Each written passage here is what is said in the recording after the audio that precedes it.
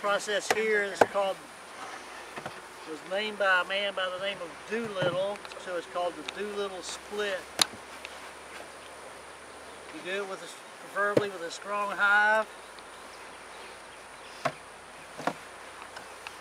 Prior to this, we've actually taken and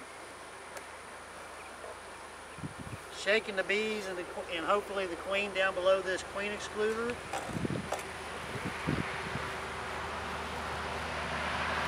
one's set long enough to kind of, normally you could do this and come back the same day and split the brood out. This one's sit here long enough that if the queen pheromone is weak enough, they'll start laying, they'll start making queen cells up here at the top. I kind of look in here just to see if there's any eggs. And hopefully there is not.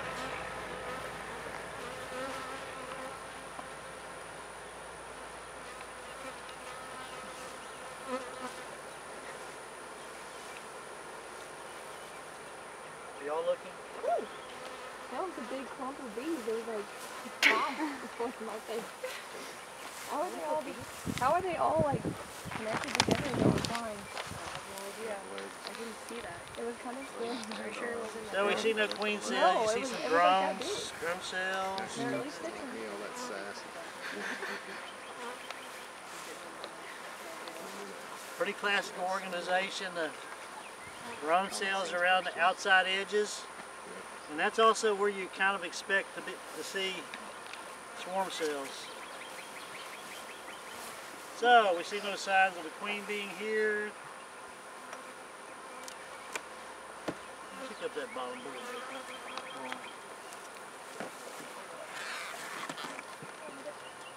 When you set hive bodies down, you kind of want to set them up on the ends. That way the frames don't rattle back and forth this way. So we're gonna, yeah, we're gonna put this one. So this is the part that we think got the queen in it.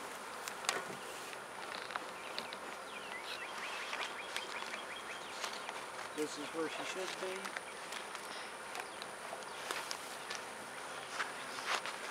So we got lots of larvae, lots of eggs. So she's down here in the bottom someplace.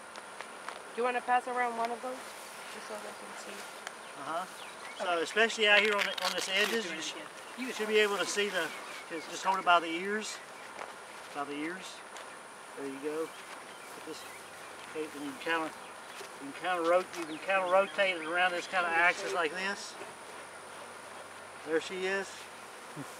There's the queen right here.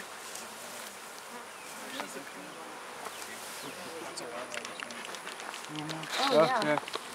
Yeah, the green spot. So she's one. She, I think she's one of those New Mexico queens. Mm-hmm.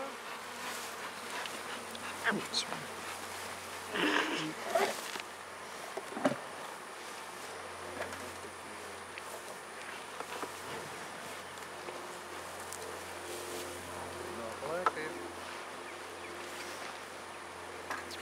Happy bees.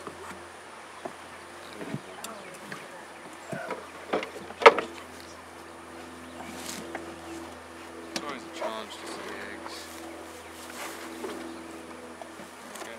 Yeah, I, Yeah. That is practice. We'll set up here. First one. Beep beep beep beep. Yeah.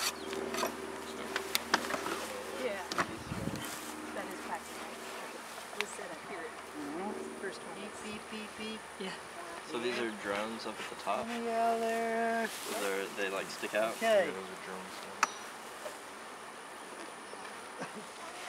You got the little nail. You got a You do nail. that ting. That was me dropping it. You lost a nail. I, yeah, and I was so careful. A lot of pollen. Got it. Oh, I see some larvae in there. Some big ones. Mm-hmm. The guy with the see the white ones. I just put it in my pocket. Yeah, a lot of them.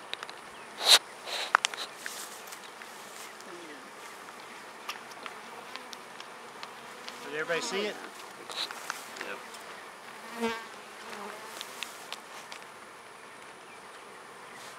So this one here's got the old queen in it. It's gonna Close it up. So I've moved the old queen one slot over, and that's just so the a few of the field bees will end up leaving here and will end up probably populating this one. You can you can kind of take and shift them back and forth if the population gets real uneven. So this is an introductory cage. Y'all saw these before. I pulled the cork end on the candy end. And you just kind of want to slide it candy down right up as close to the brood bees as you can get them. And. And that's one split.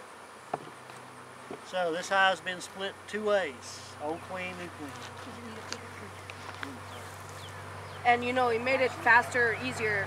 The Actually- fact that he had gone through and found the, located the queen and, and put her at the bottom in preparation for this. So the idea that you just shake the bees down, you throw on a queen excluder, that just kind of seals the queen. Now the, the randomness is, is every once in a while the queen will wander outside the hive and she'll walk up to the top and walk in the top entry. So it's not 100%. But anyway, this, this is named after a guy by the name of Doolittle.